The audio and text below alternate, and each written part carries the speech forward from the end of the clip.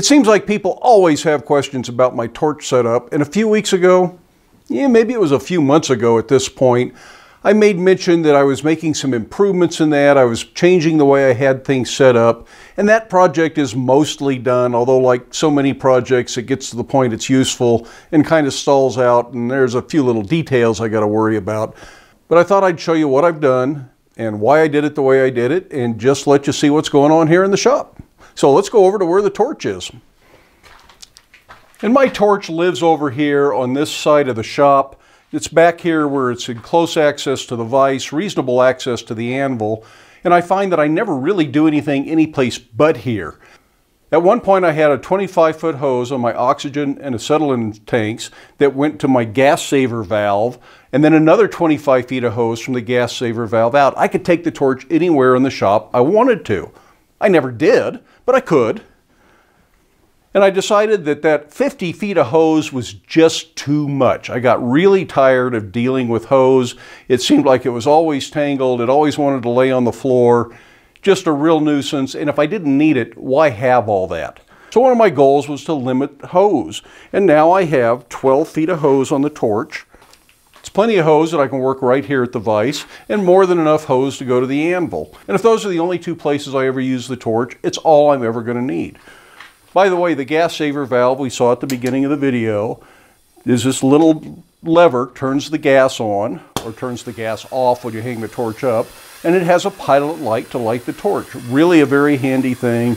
I hang that up and it goes out. The only problem with these is that the pilot light, just like the torch tips, is specific to what kind of fuel gas you're running.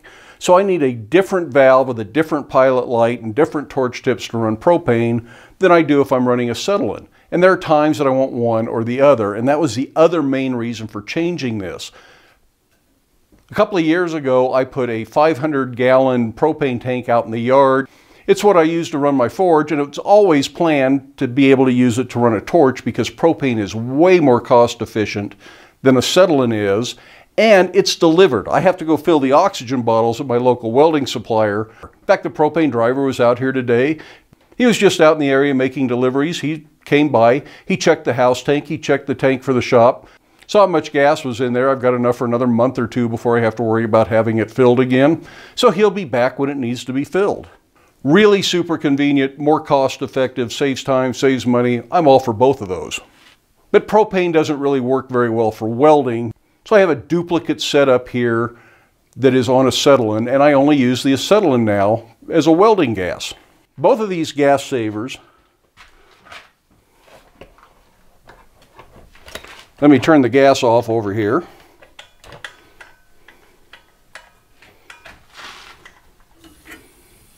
Are set up with quick release valves.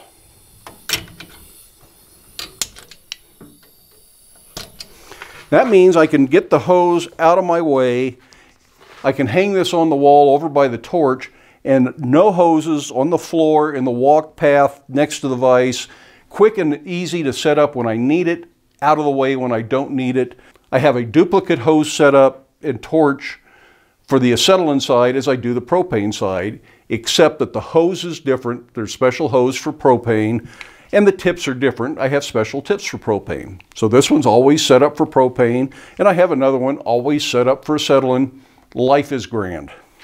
Now I'm sure somebody is looking at this red toolbox that is so prominent in the videos and probably I should have got a black one, but red was available on eBay. And this is just a mid box for a rolling tool chest that goes between the lower box and the upper box. That's why they call it a mid box. But it's a three drawer chest and I have my, my Victor torch book and my torch setting card that I use to make sure I've got the right settings and my tip cleaners and my extra propane tips, matches for lighting the coal forge. All of my acetylene tips and fittings and extra cutting heads, things like that are in here.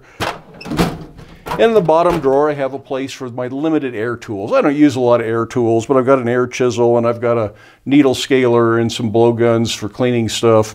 And this was a convenient place to put it because I had an extra drawer. And they used to take up space in another chest just like this that I really wanted some other tools in. These are really handy chests. This is the third one that I've got, and I really like every one of them.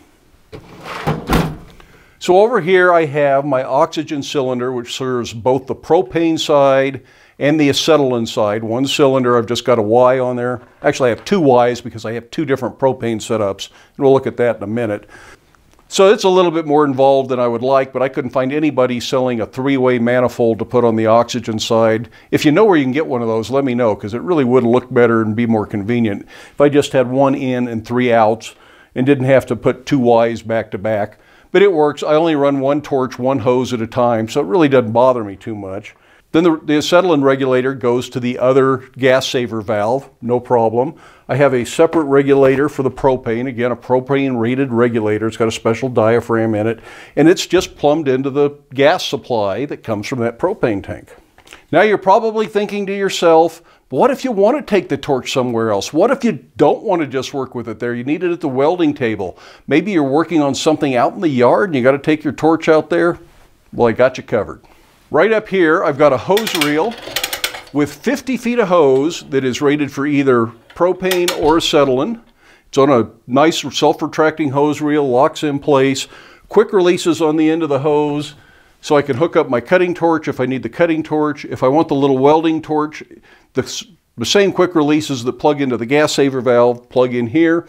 And that means I can take this anywhere I want inside the shop or even outside the shop. I can get this all the way out into the driveway around the shop. If I have some sort of big material out there I need to cut up before I can bring it in the shop. Personally, I don't think I will ever need the full 50 foot stretch of this. But if I do, it's there and it's ready to go. Now for doing more delicate welds and smaller work, I have this little Dillon or Henrob or Cobra torch. It's gone by all three names at one point in time or another. And it runs on just 4 psi of oxygen and 4 psi of acetylene. Nice little torch for doing delicate things like roses.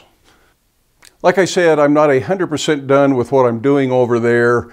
At some point I'll add some sort of hooks on the wall that I can hang the hoses and the torches on so that they're not just laying over the top of the oxygen cylinder. But that's a job for another day. For today, I hope you can get out to your shop, hope you can make something, but stay safe, wear your safety glasses. We'll see you for the next one.